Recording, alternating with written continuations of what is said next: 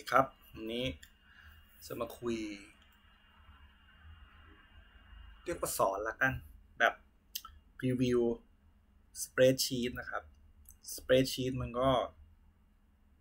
มันมีมานานละ ผมใช้ตั้งแต่สมัยเป็น DOS นะตอนนั้นเขาก็จะเรียกหนึ่งสองสามโลตัสหนึ่งสองสามอะไรเงี้ย เสร็จแล้วก็ Microsoft เขาก็มาทำเป็น Excel ใช่ไหม จริง ถ้าผมจำไม่ผิดเหมือนช่วงนั้น IBM ก็มีนะ เป็นพวกสเปรดชีตเหมือนกัน นี้แต่ละตัวก็ความสามารถผมว่าไม่ได้หนีกันมากนะ เรากำลังพูดถึงว่าสเปรดชีตมันก็คือรูปแบบการจัดการข้อมูลแบบตารางแบบนึงนั่นแหละ มันก็มีทูลต่างๆ ช่วย นี้ปกติทุกวันนี้ผม ผมทำงานกับ Google App ซะมากกว่า ผมก็ ไม่ใช้ละ Office ไม่ใช้ Excel ก็ใช้ Google Sheet นี่แหละ เพราะว่าฟีเจอร์มาตรฐานมันเพียงพอกับการใช้งานเนาะนี่ก็จะเป็น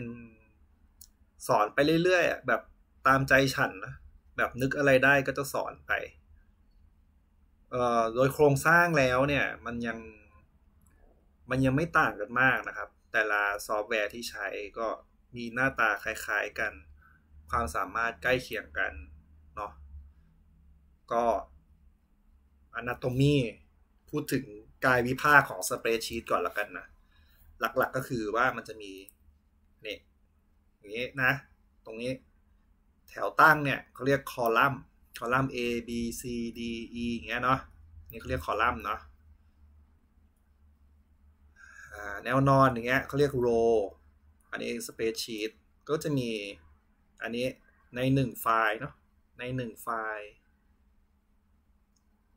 ก็จะมีหลาย ๆ ชีตได้อะไรเงี้ยชีตหนึ่งผมอะเอาอีกชีตหนึ่งก็ได้ มีสองชีตนี่ชีตหนึ่งใช่ไหมอันนี้ชีตสองก็จะเป็นอย่างนี้แล้วแต่เราเนาะก็จะไม่เหมือนกัน เราเพิ่มก็กดเพิ่มไป ตรงนี้ เราไม่เอาเราก็ลบมันทิ้ง อย่างเงี้ยเนาะ delete คือของ Google อะไรที่มันมีอย่างเงี้ยสามเหลี่ยมข้างหลังเนี่ยแปลว่ามันมีมันมีเมนูอยู่ข้างหลังเนาะเราอยากจะลบเราก็ delete มันเลยก็ได้เนาะหลักๆ โครงสร้างมันคือเท่านี้แหละ ส่วนเมนูข้างในเนี่ย มันก็ใช้บ้างไม่ใช้บ้าง เดี๋ยวถึงเวลาเดี๋ยวจะอธิบายเองว่าเราใช้อะไรตอนไหนเนาะหลักๆสมมุติบอกว่าเอ้ยเราอยากสร้างข้อมูลเนี่ยเราก็พิมพ์ไปเลย แล้วก็สมมุติว่าถ้าต้องการให้มัน มันจะมีความสามารถในการสร้างเลขเลขลำดับอัตโนมัติเนาะก็จิ้มข้างหลังเรียกเหมือนเป็นออโต้รันหรอเนี่ยไม่ได้อ๋อถ้าเกิด Google Sheet มันจะไม่ฉลาดเท่า Excel มันต้องบอกก่อนว่าเราจะเพิ่มทีละเท่าไหร่เนี่ยอันนี้คือข้างล่างนะโอ้ผมต้องการเทสหนึ่งมันก็ไม่ฉลาดเท่าไหร่อ้าวทีอย่างเงี้ยฉลาด เอาเป็นว่า ถ้าเป็นตัวเลขบางทีมันไม่ทำเนาะอันเนี้ยผมก็จะใช้วิธีว่า โอเค งั้นเราบอกมันว่าเราอยากได้อย่างนี้เพิ่มทีละสองได้ไหมฉลาดพอไหมไม่เคยทำเหมือนกันนะอันนี้ก็เพิ่งสังเกตคือปกติแล้วผมจะใช้ อ่าได้ ผมใช้ Excel ผมทำงานไอทีนะ เป็นอินฟาแต่ว่าใช้งาน Excel เยอะมากเลย เพราะว่า Excel ช่วยได้หลายแบบ อ่าโอเคทีนี้ เอาข้างบนก่อน อันนี้เขาเรียก undo redo เนาะอันนี้ print อันนี้ format painting เช่น อะผม test อันนี้ผมเอาเป็นโบนะตัวหนา ได้ไหมนี่ตัวหนาดูออกไหมเอาตัวใหญ่ด้วยนี่แล้วผมบอกว่าเฮ้ยอยากให้ไอ้เทสเนี่ยเหมือนตรงนี้จังเลยแล้วก็เอาลูกกิ้งมาจิ้มก่อน paint format มันก็จะขึ้นกรอบนี้เนาะ แล้วก็จิ้มเหมือนก็ไปจิ้มบอกฉันจะวันนี้นะ เสร็จแล้วเอา format มาเทสใส่นี้นี่เหมือนกันเนาะ undo ก็คือเนี่ยถอยกลับไปเมื่อกี้กลับมาสิเอากลับไป เอากลับมาเนาะอันนี้คือเราต้องการดูที่กี่เปอร์เซ็นต์ เราอยากดูใหญ่ก็ได้นี่ร้อยห้าสิบสองร้อยอยากดูที่ร้อยเปอร์เซ็นต์เนาะอ่าเนี่ยสังเกตว่าตรงนี้มันจะขึ้น saving ตลอดเวลาที่เรามีการเปลี่ยนแปลง คือเราทำ เราทำ on cloud อะ มัน auto save ตลอดเวลาเลยข้อดีของมันอ่าถัดไปตรงนี้อะเป็นตัวเลขเนาะอ่าเช่นเราพิมพ์ตัวเลขหนึ่งสองสามสี่ห้าหกเนี่ยนะอยากได้เครื่องหมายเป็น formatting เป็นเงินค่าเงินอ่าอันนี้มันจดมันจะเป็นจุดทศนิยมสองตำแหน่งใช่ไหมผมซูมหน่อยอะทศนิยมมันเป็นสองตำแหน่ง เราอยากเพิ่ม พิ่มอันนี้ อันนี้เพิ่ม เพิ่มทศนิยม เรากดอันนี้ นี่นะ เราอยากลดก็อันนี้ โอเคปะหรือว่าเราต้องการเปลี่ยนฟอร์แมตมันเป็นอะไรก็ว่าไป ฟอนต์อยากได้ตัวหนังสือแบบไหน เปลี่ยนได้ อันนี้เป็นขนาด อันนี้ตัวหนา ตัวบาง ตัวค่า อันนี้สีของตัวอักษร อันนี้สีของพื้นหลัง อันนี้ตารางนะโอเค พวกฟอร์แมตนี่ลองกดเล่นดูได้นะครับ มันไม่เจ็บไม่ปวด เราลองกดเล่นเล่นดู อ่า ทีนี้เราจะหาข้อมูลมาลองเล่นดู ผมก็ไปเซิร์ชเอาเนาะ ก็เจอเว็บไซต์เนี่ย contextures.com ใช่ปะแล้วก็จริงๆมันมีมันมีอ่าไม่ใช่เขามีตัวอย่างข้อมูลหลายอันเลย แต่ผมก็เลือกอันนี้มา ก็บอกว่าใน copy เวลา select select ดีเนาะเอา select จากข้างหลังเนาะเอาเอาเมาส์ไปวางไว้ข้างหลังตัว A แล้วกันนะ แล้วก็ลากลงมา ไม่งั้นมันจะไม่ได้มันจะไม่ได้ table มาเนี่ยแล้วก็มาวางไว้ข้างหลังท้ายตารางนะเสร็จแล้วเราก็ copy หรือจะกด Ctrl C ก็ได้เนาะเสร็จแล้วก็วางไว้ตรงหัวตารางแล้วเราก็คลิกขวา paste หรือ Ctrl V ก็ได้นะ ค่าเท่ากัน เนี่ย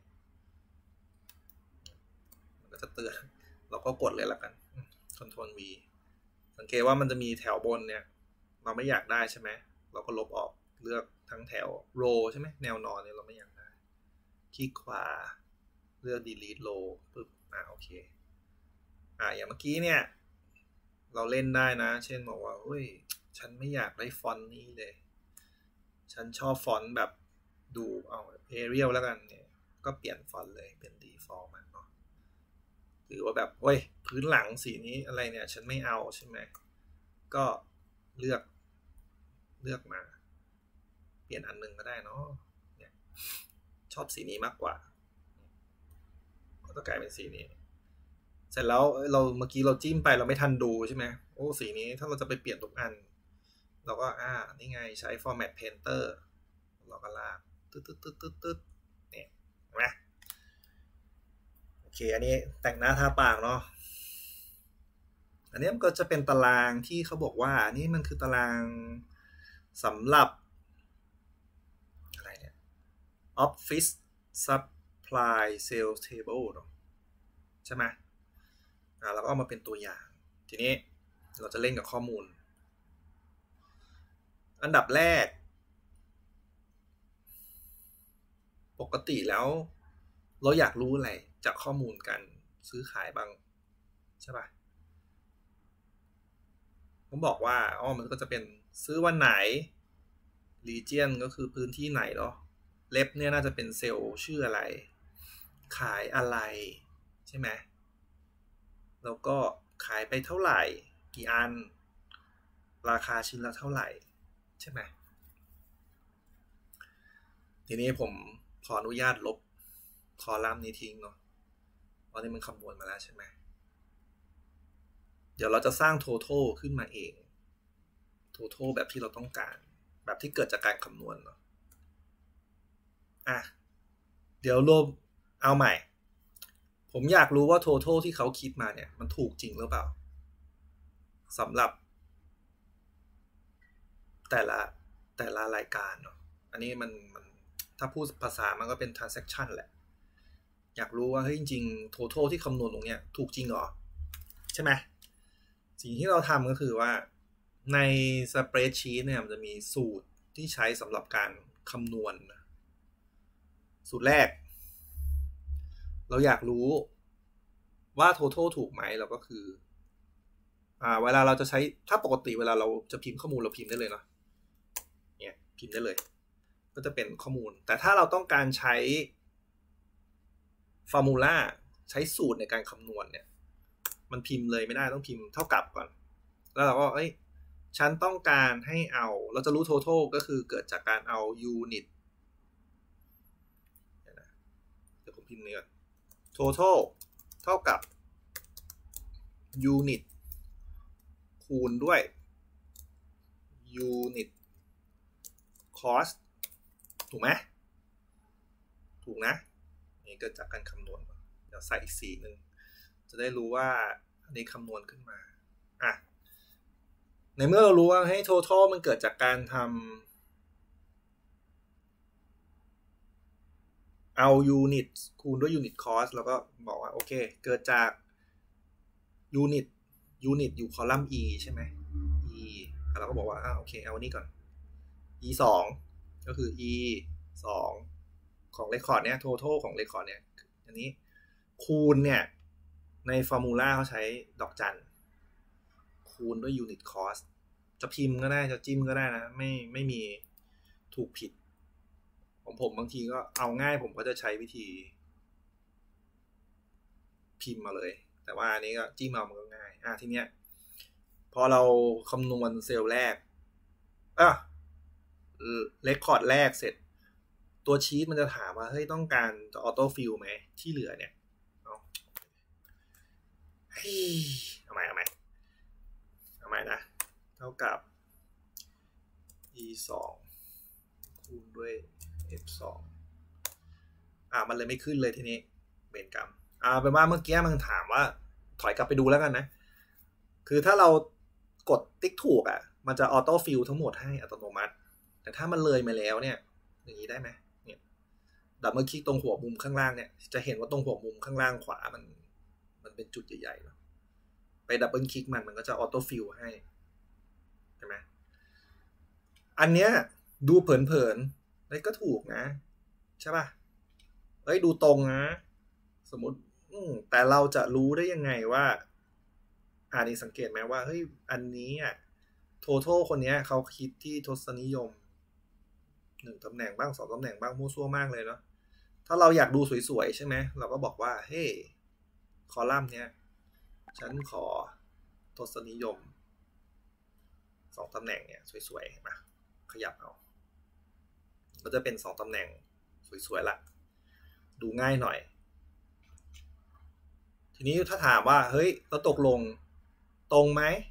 ถ้าเราจะดูทีละบรรทัด มันก็ได้ใช่ไหม ถูกปะแต่ถ้า ไม่ดูทีละบรรทัดล่ะเราอยากเช็คง่าย ๆ ถามว่าเรารู้ รู้ว่ามันแมทช์ไหมอะวิธีที่หนึ่งที่ผมใช้นะ ถ้าผมอยากรู้ว่าสองอันเนี้ยมันเท่ากันไหม ก็คือให้เอา อันนี้ ลบด้วย อันนี้ ก็คือเทียบกัน ถ้าเป็นศูนย์น่ะคือเท่ากัน อะไรที่ไม่ศูนย์น่ะก็คืออ้าวแถวนั้นไม่ไม่ปกติได้ปะถ้ามันเป็นศูนย์หรือ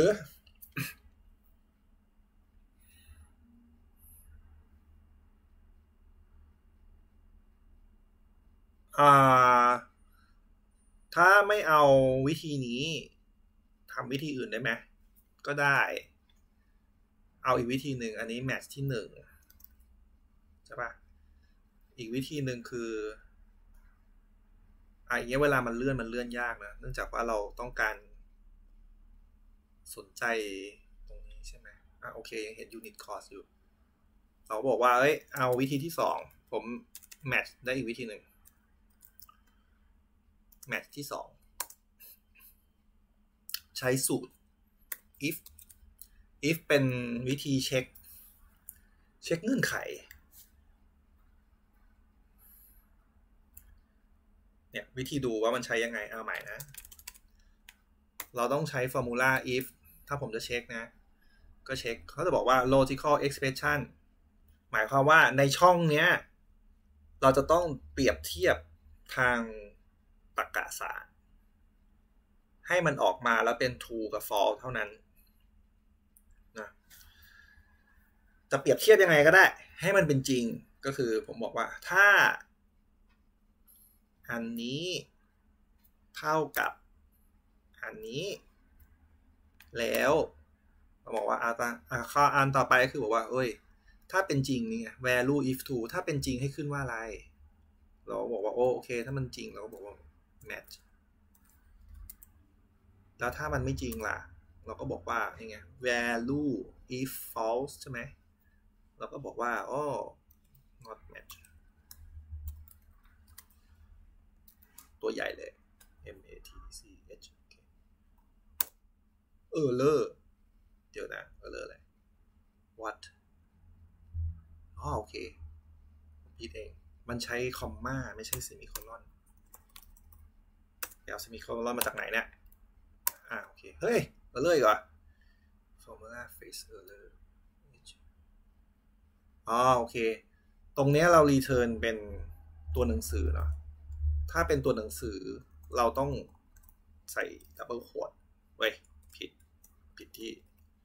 นี่นะอย่างเงี้ยเนื่องจากเรารีเทิร์นเป็น เป็นตัวหนังสือเราต้องบอกมันว่า เฮ้ย นี่คือตัวหนังสือ โอเค ได้ละอ่าเราก็จะโอเค เฮ้ยแมทแปลว่า เฮ้ย ตรง แปลว่าข้อมูลเขานี่ไม่ได้ total เขาไม่ได้ปั้นนะ เขาคำนวณมาแล้วจริง สมมุติผมอยากเทสว่า ฟอร์มูล่าเรามันถูกไหมโอเคตรงนี้เป็นสามสามสามเห็นปะจะกลายเป็น not match ทันทีเลย แล้วไอ้ตรงนี้มันก็จะไม่ศูนย์เห็นปะมันก็เป็นวิธีตรวจกันบ้านนะนี่ผมเรียกเป็นวิธีตรวจกันบ้านแล้วกัน ก็